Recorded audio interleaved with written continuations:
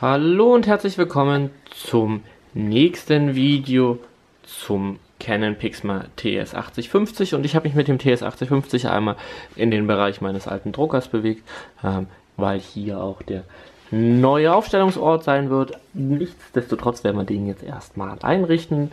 Dazu sagt die Anleitung Anschalten des Gerätes ähm, und sobald möglich Paper Output trays position slide out the tray. And select okay. Na gut dann holen wir das mal raus.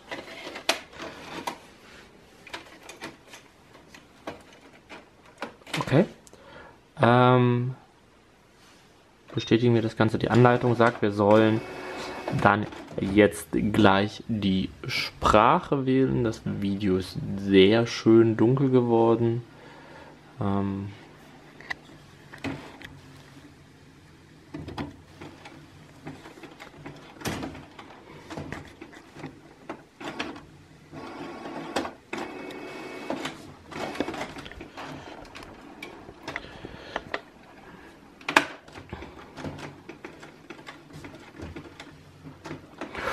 Und was wir jetzt auf alle Fälle schon auf alle Fälle am Display gesehen haben, dieser kleine CD-Anschub, der hat tatsächlich also verschiedene Positionen beziehungsweise der gleichzeitige Papierauswurf. Ähm, das Gerät erkennt diese Position und ähm, teilt uns das mit, wenn es ihm nicht passt. Okay, Sicherheitsinformationen gelesen, das habe ich tatsächlich getan. Wählen Sie OK, um mit der Inbetriebnahme zu beginnen. So, nun gehen wir ein wenig vom Display weg. Wie wir sehen, zeigt das Display eigentlich relativ schön bebildert einmal was zu tun ist. Ähm, wir öffnen also die Abdeckung, damit wir einmal äh, mit den Tintenpatronen beschäftigen können. Es geht mit der hellblauen los. Ich habe sogar Glück und habe die richtige getroffen. Äh, die sind relativ klein und werden leider herstellerüblich. Das konnte man schon im Internet nachlesen. Mickrig klein gefüllt sein oder minimal gefüllt sein. So gucken wir uns das Ganze an. Also abmachen. Bleibt der orangen Schlitten drauf. Ja, ich bin leider nicht hundertprozentig multitaskingfähig, also so, nachdem das Telefon nun nicht mehr klingelt, machen wir mal weiter mit dem Video. Ähm, die kleine Schwierigkeit, die ich soeben gerade hatte, war dieses kleine orangene Schutzkäppchen, was man entfernen muss. Dann die Patrone einmal einsetzen, reinklicken, dann fängt sie an zu leuchten und schon ist man fertig. Schutzkappe ab und die Seite, auf der die Schutzkappe draufsteckt, nach vorne in den Drucker hinein, eingeklickt, fertig. Also wenn man einmal weiß, wie es geht, eigentlich relativ einfach. So, und ich gehe mal davon aus, dass wir nach dem Einsetzen der Patronen doch sicherlich einfach mal ähm, das Ganze na, schließen können. Ich glaube, beim Schließen muss man die Abdeckung einmal ein wenig anheben. So, kommen wir mal wieder ein bisschen weiter zurück, damit wir auch sehen, was auf dem Display passiert.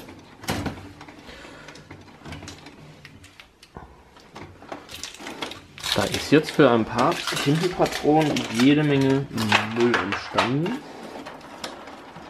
Kann man nicht schlecht staunen. Okay, ähm, die folgenden originalen Druckkopfausrichtungen, okay, das ging jetzt schneller. Legen Sie ein A4-Blatt oder ein Letter nominal in die Kassette ein und warten Sie einen Moment. So, und nachdem ich mich jetzt immer wieder gewundert habe, warum es einfach mit dem Papiereinzug für die erste Einrichtung nicht klappt. Eine wichtige Sache, die man hier so in einem Teil angedeutet bekommt, die ich aber nicht wahrgenommen habe. Auf dem Display hat man sie gar nicht gesehen. In der Anleitung ist sie dann aber auch nochmal erklärt. Es gibt hier so einen kleinen Knopf, der ist eigentlich auch gut markiert. Äh, man muss nur genau hingucken. Wenn man dieses kleine Knöpfchen runterdrückt, dann kriegt man hier die Kassette verlängert.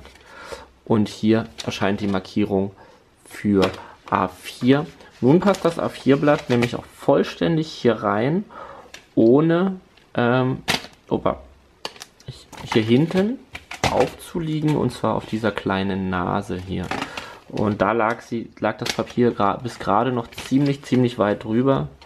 Ähm, das hat dem Drucker wahrscheinlich nicht gefallen. Und deshalb hat er mir Probleme bereitet. So, jetzt sieht man schon, ich klappe mal kurz das Display ein wenig ein. Die Kassette steht jetzt für A4 wieder ein bisschen mehr raus. Das heißt, das Gehäuse ist nicht mehr ganz glatt und so kompakt wie es ursprünglich mal gedacht war. Aber das ist das, was ich in dem vorherigen Video schon gesehen äh, gesagt habe. Wer einen kompakten Drucker möchte, ähm, der muss halt teilweise damit leben, dass er für gewisse Herausforderungen etwas ausziehen muss. So, schauen wir mal, ob es jetzt funktioniert. Jetzt sagt er mir wahrscheinlich gleich, dass der Auswurf nicht geöffnet ist. Zieht man also schnell nach draußen. Also eine kleine Spitzfindigkeit ähm, bei der Einrichtung.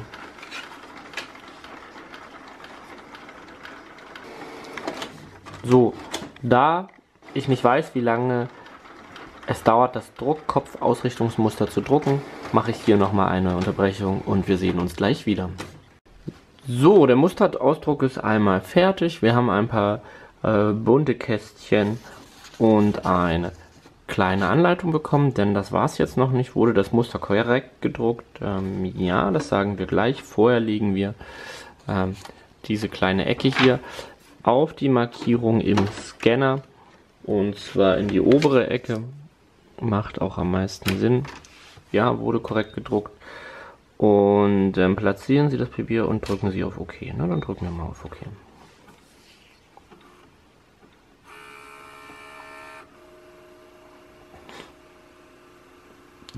So hört man gleich einmal, wie sich wahrscheinlich das Scannen anhört. Und die automatische Druckkopfausrichtung ist abgeschlossen. So, wir machen jetzt hier erstmal Schluss. Der erste Teil war schon wirklich lang und etwas hakelig, deshalb erster Teil für die Einrichtung. Und beim zweiten Teil gucken wir uns einmal die Wi-Fi-Einbindung an. Vielen Dank fürs Zuschauen und bis bald.